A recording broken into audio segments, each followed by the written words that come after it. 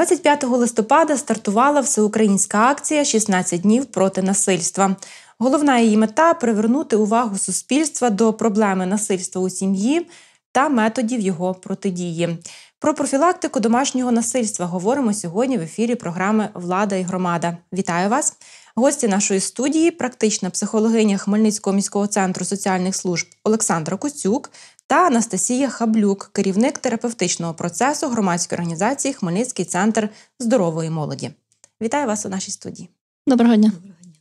Тож, Олександро, перше запитання до вас. Давайте означимо, що ж таке домашнє насильство і які його види існують.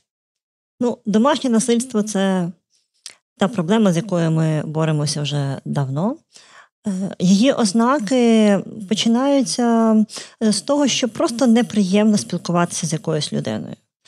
І ця циклічність перетворюється на те, що неприємність може перейти, починаючи з психологічного дискомфорту, це як психологічне насильство, може перейти у фізичне, є таким видом ще як економічне та сексуальне. Але головна проблема у тому, що іноді ми можемо не зрозуміти, в який час і в який момент е, наше ось це такий психологічний дискомфорт можна охарактеризувати вже як психологічне насильство. І далі воно може перейти до фізичного. Ось в цей момент ми намагаємося в своїх консультаціях пояснити, роз'яснити, інформувати, і щоб ну, наше суспільство розуміло, коли я маю розуміти, що мені вже не те, що дискомфортно, і що це якась одноразова ситуація, а коли я живу у цьому стресі і нічого з цим не роблю. А які такі ознаки, ось такі дзвіночки, на що варто звернути увагу людині, аби зрозуміти, що це вже дійсно насильство? Ну, перше, це ми маємо відчути, коли ми не хочемо приходити до себе додому. Коли ми приходимо, а нам дискомфортно. Або коли, наприклад, ми хочемо піти кудись там з друзями або з колегами, і ми розуміємо, що це може стати причиною конфлікту. Е, що причиною конфлікту може стати навіть якась дрібниця, і цей конфлікт може перерости у якийсь постійний дискомфорт та напруження у родині. Тому, якщо таке напруження починається, ми маємо розуміти, що треба починати розмовляти зі своєю іншою половинкою або з людиною, з якою ти проживаєш. Тому що не буває так, що конфлікт е, він не має переростати у щось е, велике. Тому, перше, це якщо тільки відчувається дискомфорт в міжособистісних відносинах, про про це потрібно говорити. Угу. Якщо ж цей дискомфорт переходить ситуативно, якісь штовхання, то ми можемо зрозуміти це перший дзвіночок до того, що ці штовхання наступного разу можуть закінчитися фізичними побоями. Олександру, а як повномасштабна війна вплинула на чи вплинула взагалі на ось ці війни в сім'ях? Чи змінився характер звернень до вас і, можливо, їх кількість? Ну, ми можемо так охарактеризовувати. Війна спричинила кількість велику кількість безробіття. Ми ж розуміємо, що безробіття за собою тягне економічні проблеми, е, і на цій, е, на цьому фоні можуть бути конфлікти.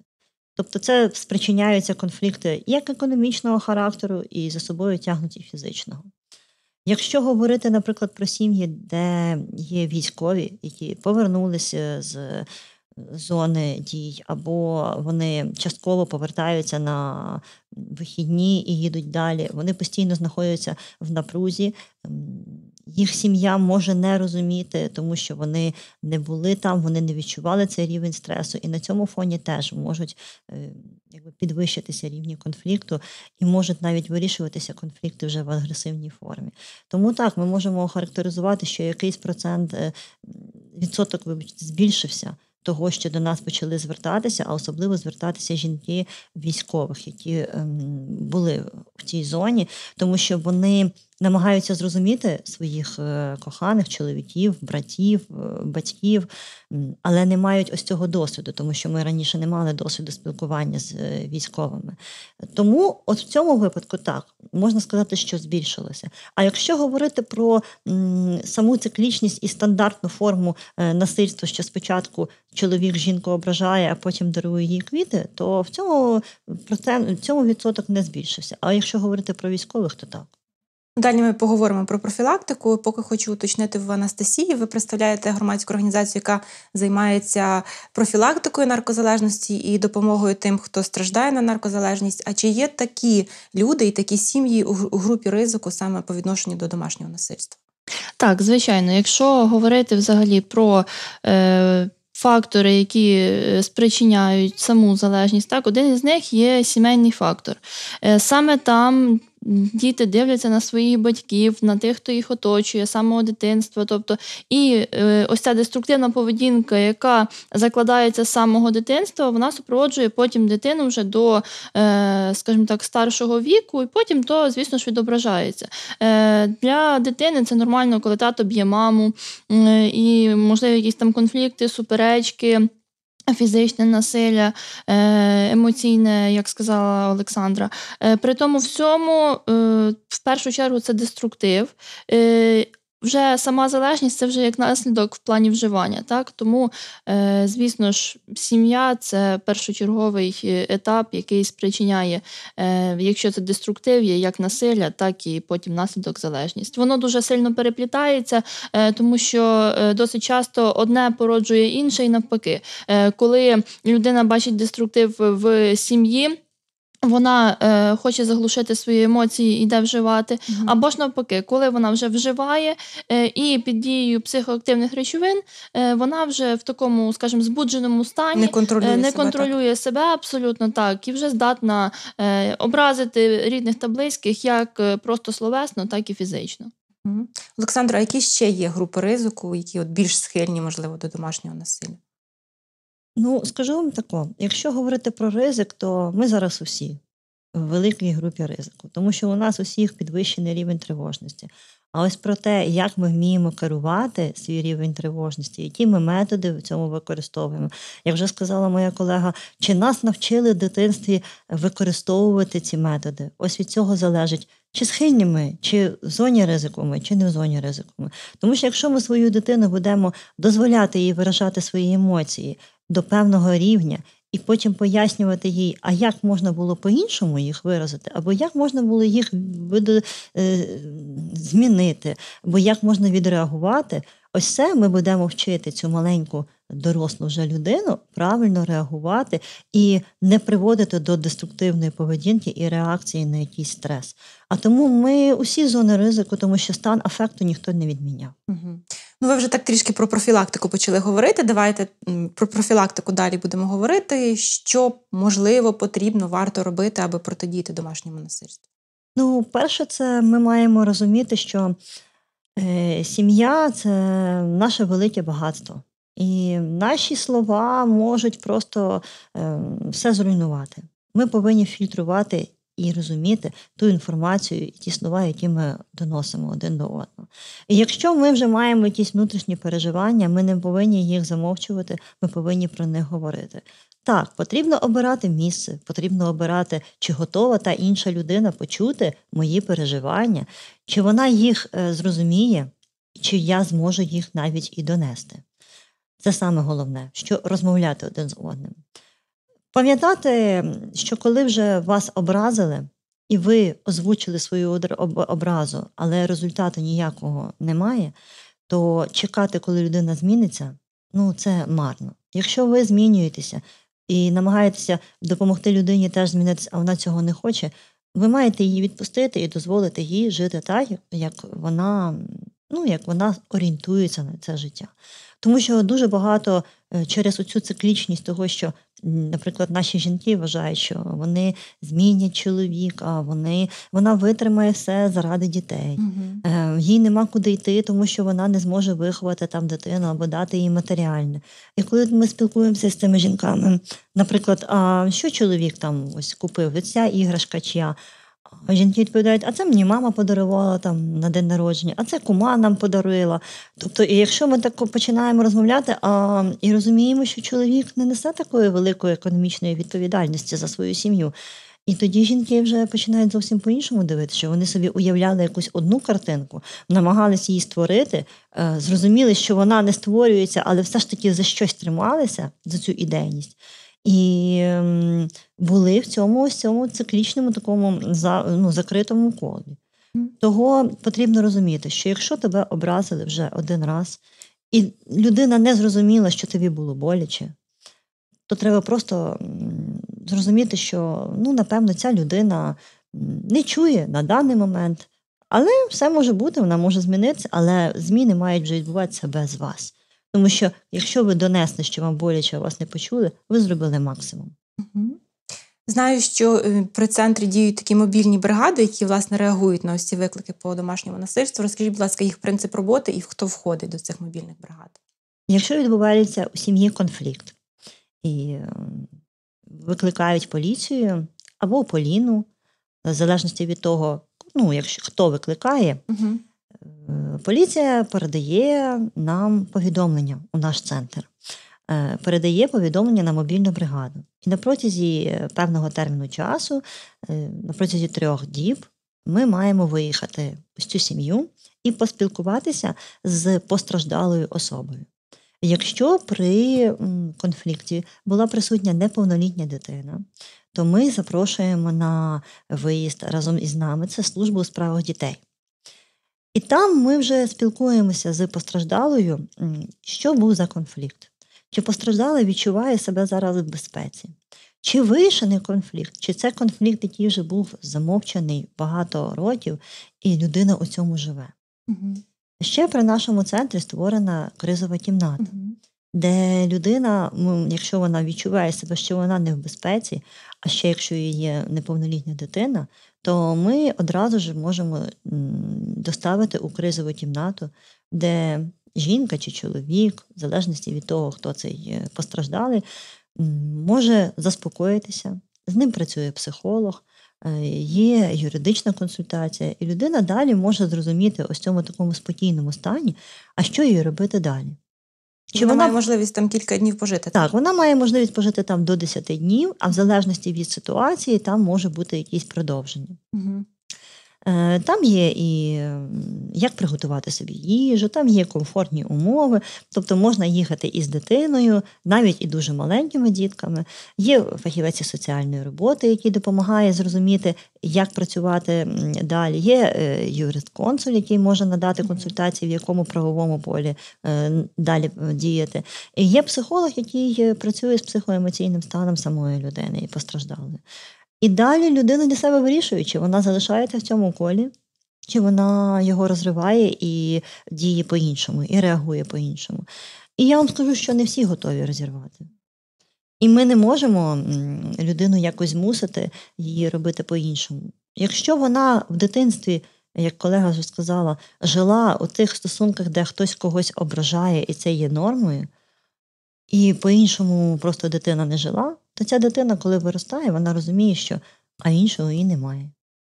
Тобто тут потрібна дуже велика робота над собою в першу так. чергу. Тут потрібно виходити із цієї зони комфорту і розуміти, чи готовий я якийсь період часу постраждати. Да, Можливо, економічно, можливо, е, соціально, можливо, буде важко, можливо, прийдеться повертатися до батьків, наприклад, а не хочеться. так?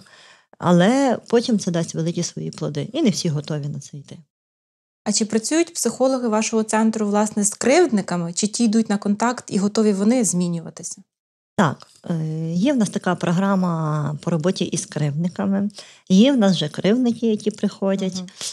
Ну, це вже плюс, готові йти. Так, це великий плюс. Як ми говоримо, що саме стабільне у вашому житті це є ми. Тому що ви кожного тижня до нас приходите, і кожного тижня ми з вами говоримо на ті теми, які ви навіть і ніколи не піднімали. Угу. Ця програма розрахована на те, що кривник може сам прийти і написати ем, до нас звернення, що він хоче пройти пройти цю програму. Е, або це вже з, з рішенням суду до нас приходить, і вони примусово мають відвідувати психологічні консультації. Там є і консультації юриста, тобто є ще декілька фахівців, які підключаються у саму програму, але робота основана на психологічному, психоемоційному покращенні міжособистісних стосунків. Угу. Ну, власне, бачите якісь позитивні зрушення, чи ще важко про щось говорити? Ну, програма розрахована на 6 місяців. Перших два місяці це повний супротив, протест. Ем, я не буду, це мені не цікаво, це нічого не змінить. А потім було таке, що ми повідомляємо, що ви знаєте, що через місяць вже закінчується в нас програма. А вони такі, що серйозно? Я навіть не зрозумів, як пройшли ці там 5 чи 4 місяці. Тобто, спочатку так, буває неприйняття це є нормальним.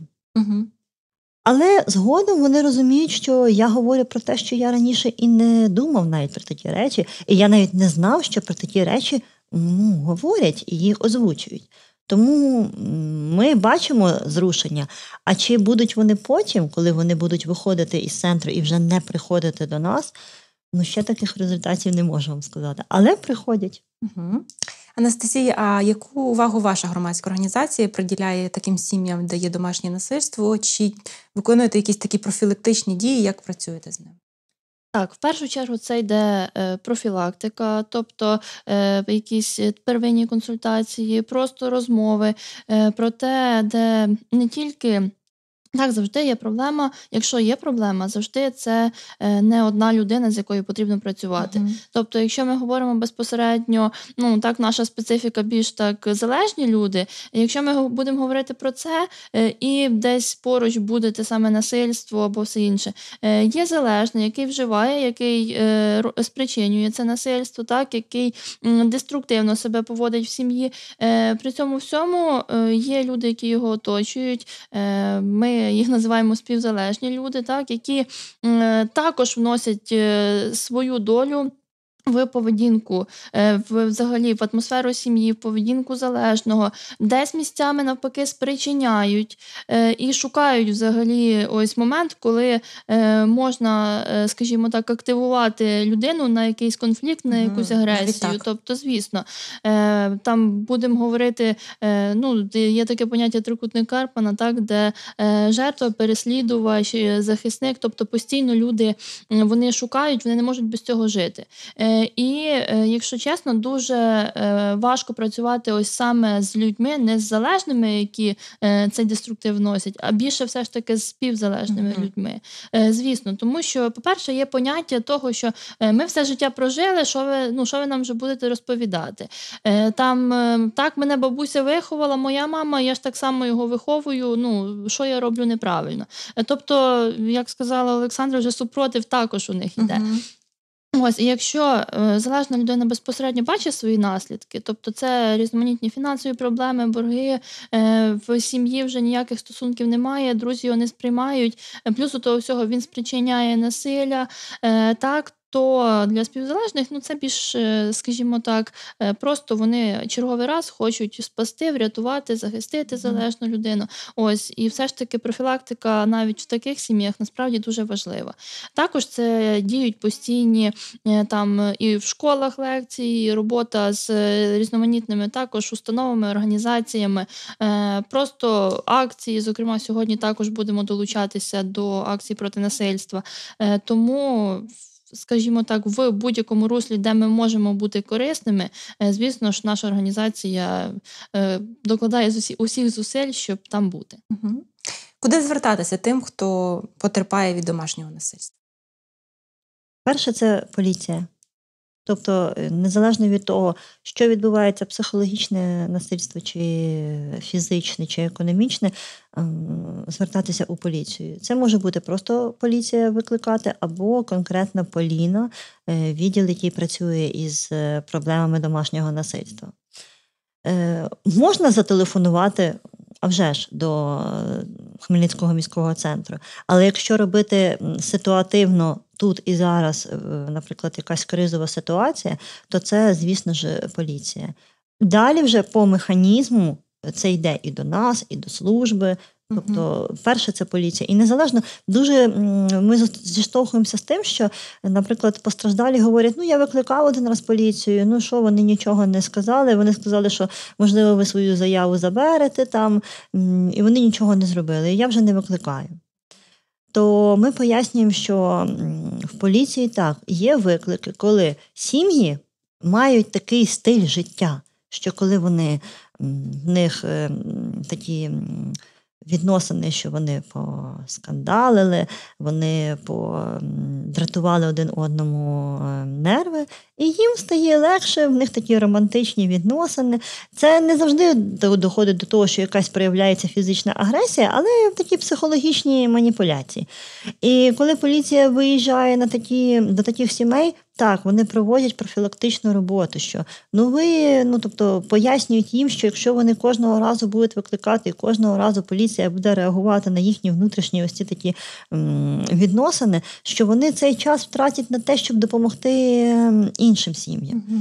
І тому деякі реагують і думають, що ну, значить, мені поліція вже не допоможе. Ні, поліція проводить профілактичну роботу, і в будь-якому випадку потрібно завжди викликати поліцію. Чим більше є викликів, чим більше є е, юридичних фактів того е, цих актів, що ви намагалися людині довести, що вона е, протидійні права робить якусь е, дії, які е, ну, шкодять для шкодять вас. Для вас.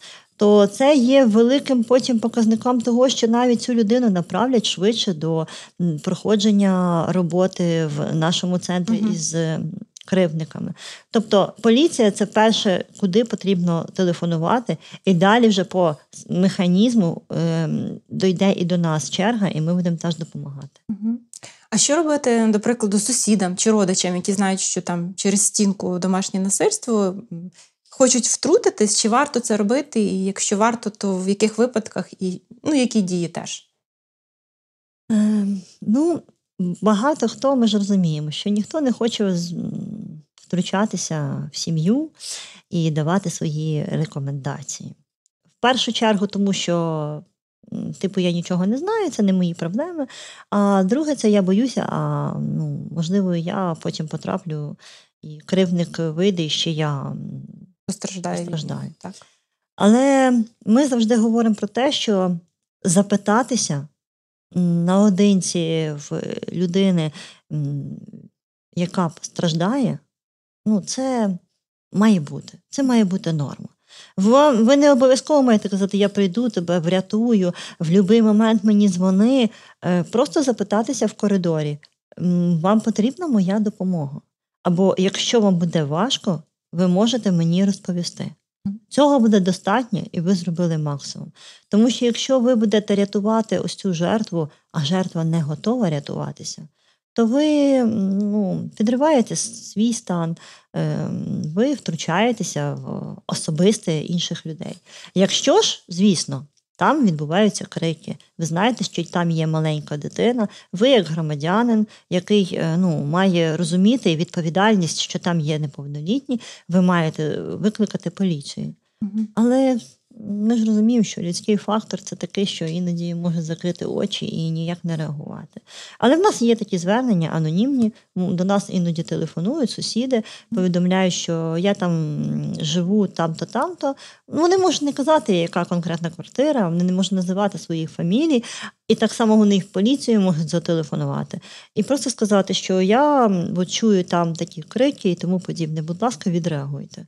Ми записуємо це як анонімне, і одразу ж на протязі 24 годин ми на це реагуємо. Угу. Дякую вам. І наш ефірний час вже добігає кінця. І давайте так на завершення разом підсумуємо, що ж все ж таки потрібно, аби ось цього домашнього насильства у нашому суспільстві ставало менше. Ну, давайте. В першу чергу, це, е, як на мене, потрібно намагатися принаймні один одного чути і бути готовим е, вирішувати певний конфлікт, вирішувати ситуацію, не тікати від неї, а потім е, згодом там знову провокувати. А в першу чергу бути готовим до змін. Змінювати себе завжди важко. Є багато переломних моментів, є багато неготовності. Проте, якщо ситуація, ну скажімо так, дійсно заставить, і якщо людина усвідомить, що її попередні попередні дії були абсолютно не, неправильними і тільки руйнували все те, що могло навпаки, що вона могла здобути, е, тоді людина готова на будь-який час до змін, е, вона готова на будь-які дії, вона цікавиться. Ось, тобто вона прикладає максимум зусиль. Якщо ж людина не готова, тоді, як на мене, потрібно е, як ми вже говорили, провести профілактику. Якщо і після того людина не буде готова, е, ну можливо, тоді потрібно дати їй час для того, щоб вона вже е, повноцінно усвідомила про те, що вона вчиняє неправильно. Олександра? і не мовчати. Це саме головне. Тому що в нас працює стереотипність, е, що я скажу люди, що люди придумають Мгм. про мене, а як я піду на роботу, якщо там в мене є якісь синці. А що люди подумають? Ну, ми ніхто не знаємо, що в кого е, відбувається за зачиненими дверима. І, можливо, вже хтось е, вирішив таку проблему. І він знає, і він допоможе, і він підтримає, і він підскаже, інформує, як потрібно е, керуватися далі, щоб не було ось таких результатів. Тому головне, як для мене, це не мовчати. Ми всі люди, ми ніхто не ідеальні. Е, Ми можемо тільки уявляти собі ідеали, але тільки через призму своїх бачень. Я вам щиро дякую. Дякую за такі практичні поради, які сьогодні озвучили в ефірі. Дякую, що завітали в гості. Дякую за запрошення. Будь ласка. Нашим глядачам щиро дякуємо за увагу. Нагадаю, ви дивилися програму Влада і громада. Дякуємо, що були з нами, і до наступних зустрічей.